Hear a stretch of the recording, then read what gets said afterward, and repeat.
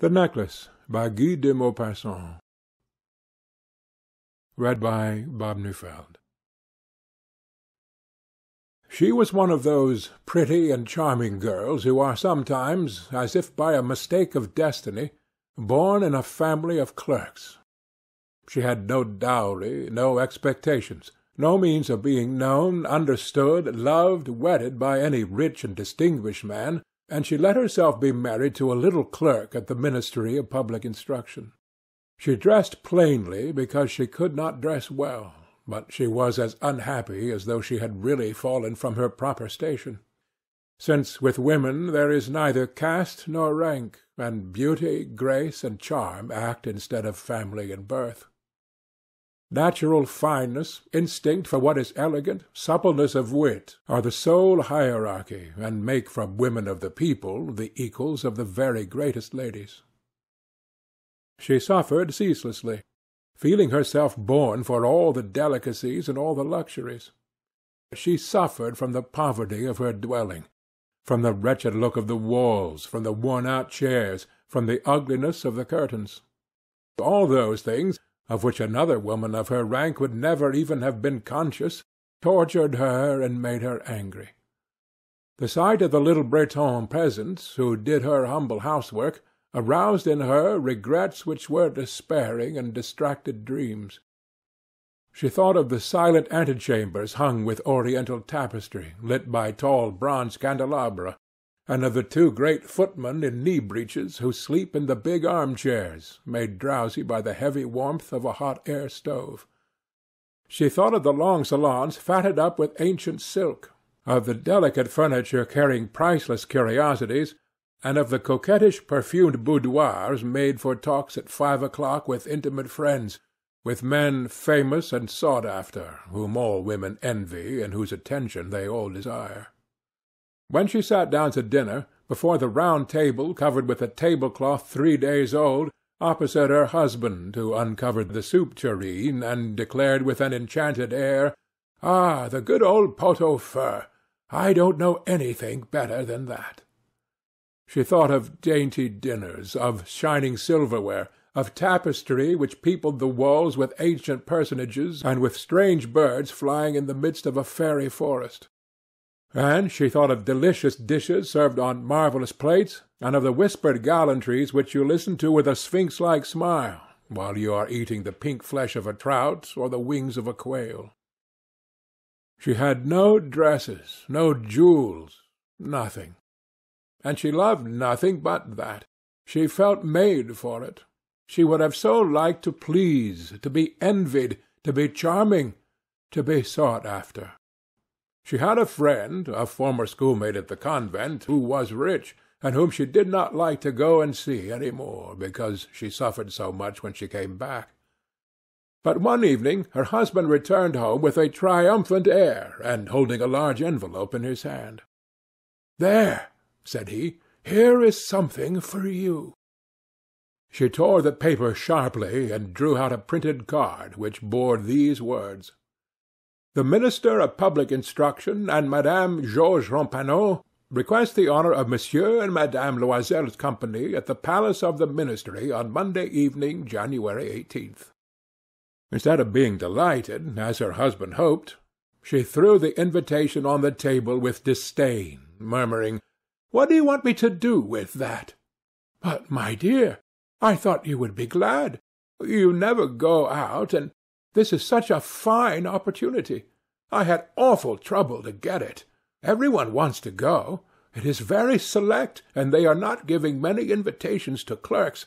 The whole official world will be there.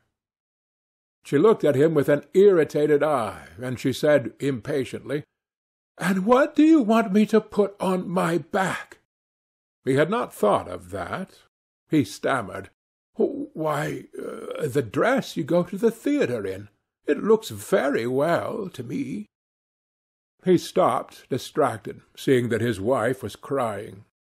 Two great tears descended slowly from the corners of her eyes toward the corners of her mouth. He stuttered. "What's the matter? What's the matter?"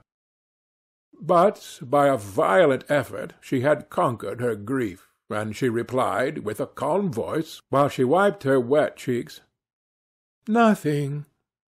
Only I have no dress, and therefore I can't go to this ball. Give your card to some colleague whose wife is better equipped than I." He was in despair. He resumed. Oh, "Come, let us see, Matilda. How much would it cost, a suitable dress, uh, which you could use on other occasions? Something very simple?" She reflected several seconds, making her calculations, and wondering also what sum she could ask without drawing on herself an immediate refusal and a frightened exclamation from the economical clerk. Finally she replied, hesitatingly, "I don't know exactly, but I think I could manage it with four hundred francs." He had grown a little pale, because he was laying aside just that amount to buy a gun and treat himself to a little shooting next summer on the plain of Nanterre, with several friends who went to shoot larks down there of a Sunday. But he said, "All right. I will give you four hundred francs, and try to have a pretty dress." The day of the ball drew near, and Madame Loisel seemed sad, uneasy, anxious. Her dress was ready, however. Her husband said to her one evening, "What is the matter? Come, you've been so queer these last three days." And she answered, "It annoys me not to have a single jewel, not a single stone, nothing to put on. I shall look like distress. I should almost rather not go at all." He resumed, "You might wear natural flowers. It's very stylish at this time of the year. For ten francs you could get two or three magnificent roses." She was not convinced. "No. There's nothing more humiliating than to look poor among other women who are rich." But her husband cried, "How stupid you are! Go look up your friend, Madame Forestier, and ask her to lend you some jewels. You're quite thick enough with her to do that." She uttered a cry of joy. "It's true! I never thought of it."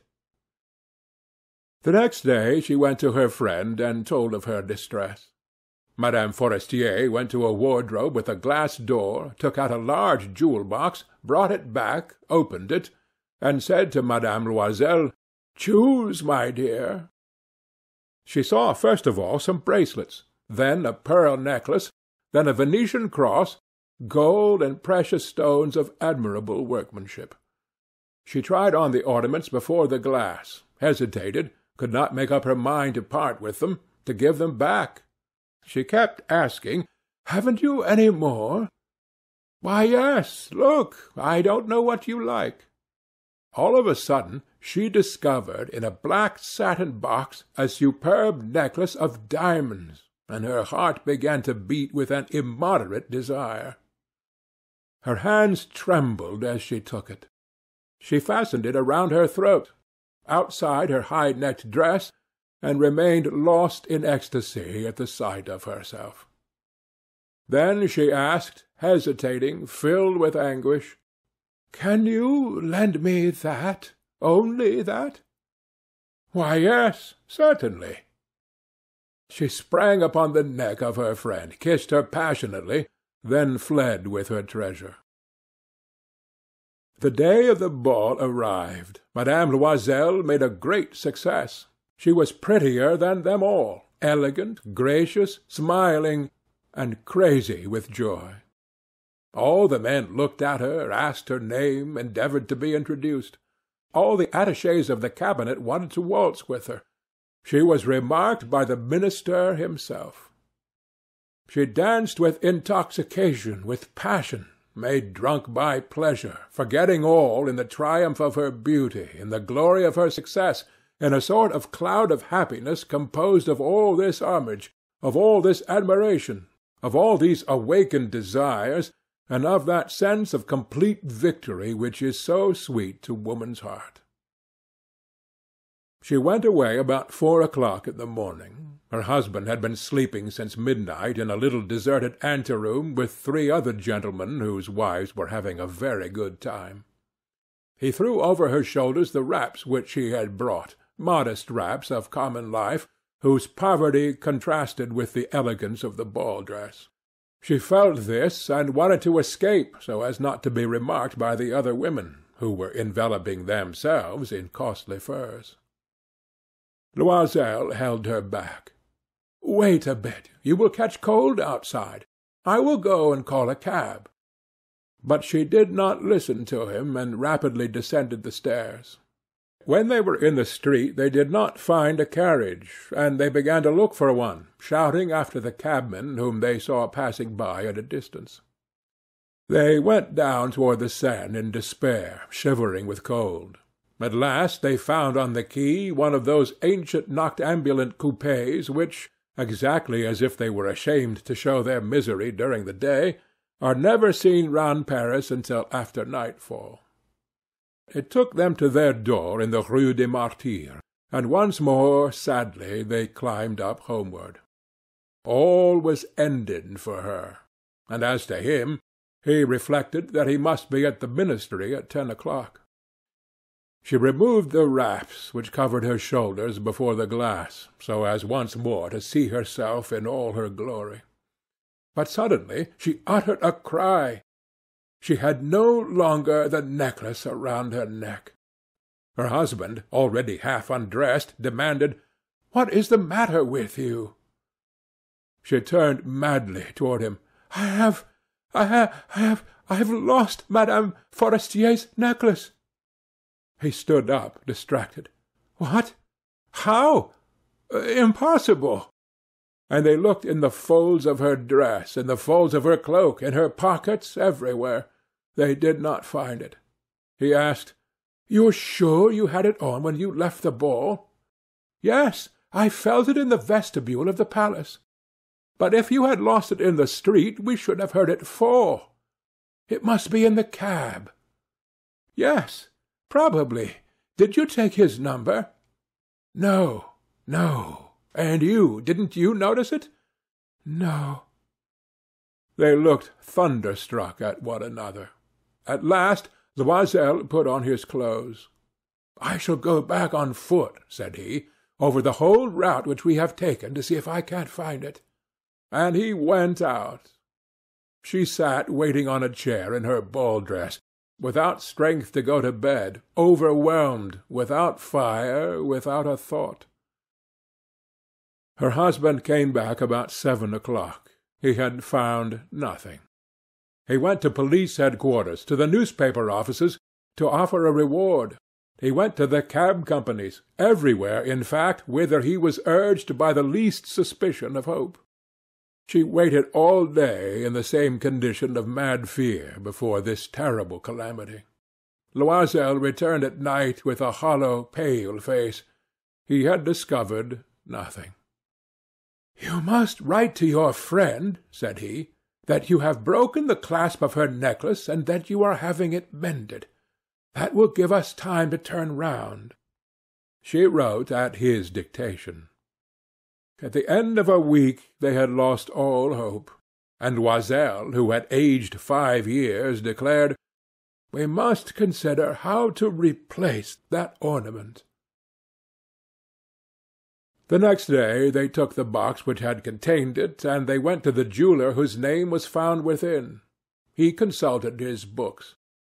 "It was not I, madame, who sold that necklace. I must simply have furnished the case. Then they went from jeweller to jeweller, searching for a necklace like the other, consulting their memories, sick both of them with chagrin and with anguish.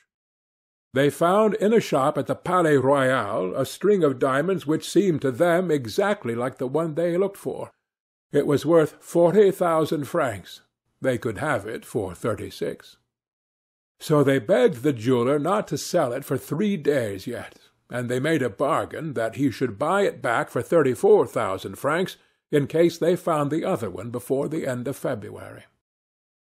Loisel possessed eighteen thousand francs which his father had left him. He would borrow the rest. He did borrow, asking a thousand francs of one, five hundred of another, five louis here, three louis there. He gave notes, took up ruinous obligations, dealt with usurers and all the race of lenders. He compromised all the rest of his life, risked his signature without even knowing if he could meet it, and frightened by the pains yet to come, by the black misery which was about to fall upon him, by the prospect of all the physical privations and of all the moral tortures which he was to suffer, he went to get the new necklace, putting down upon the merchant's counter thirty-six thousand francs. When Madame Loisel took back the necklace, Madame Forestier said to her, with a chilly manner, "You should have returned it sooner. I might have needed it."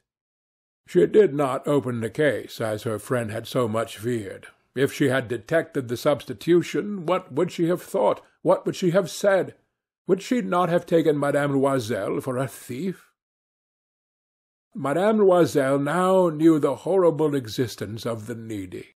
She took her part, moreover, all on a sudden, with heroism.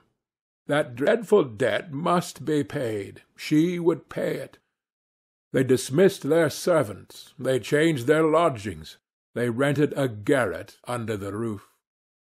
She came to know what heavy housework meant, and the odious cares of the kitchen.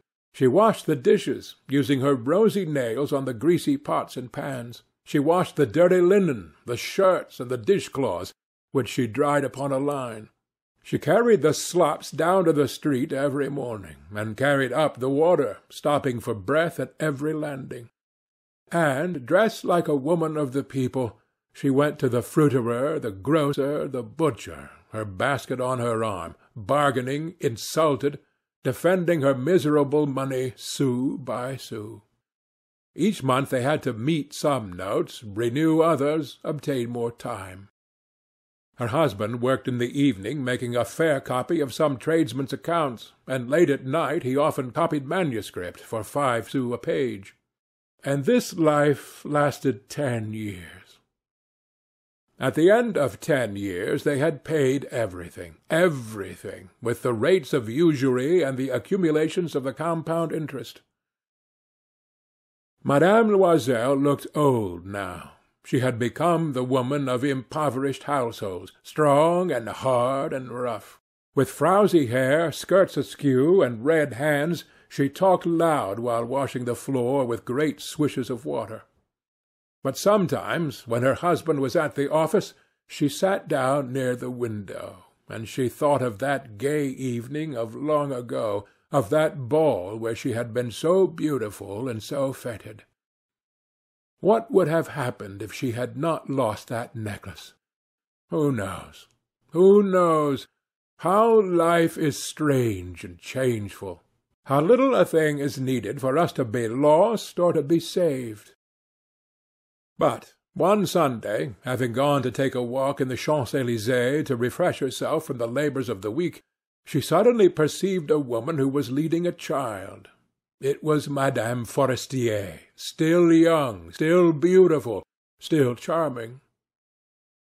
Madame Loisel felt moved. Was she going to speak to her? Yes, certainly. And now that she had paid, she was going to tell her all about it. Why not? She went up. Good day, Jeanne. The other, astonished to be familiarly addressed by this plain goodwife, did not recognize her at all, and stammered, "But, madame, I do not know. You must have mistaken." "No, I am Mathilde Loisel."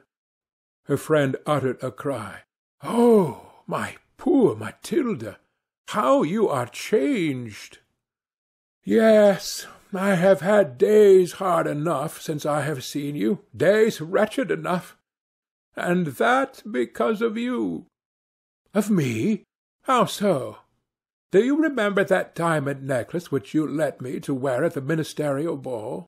"Yes. Well?" "Well, I lost it." "What do you mean? You brought it back." "I brought you back another just like it. And for this we have been ten years paying. You can understand that it was not easy for us, us who had nothing. At last it is ended, and I am very glad." Madame Forestier had stopped. "You say that you bought a necklace of diamonds to replace mine?" "Yes." "You never noticed it, then? They were very alike." And she smiled with a joy which was proud and naive at once. Madame Forestier, strongly moved, took her two hands. "Oh! My poor Matilda! Why, my necklace was paste. It was worth at most five hundred francs."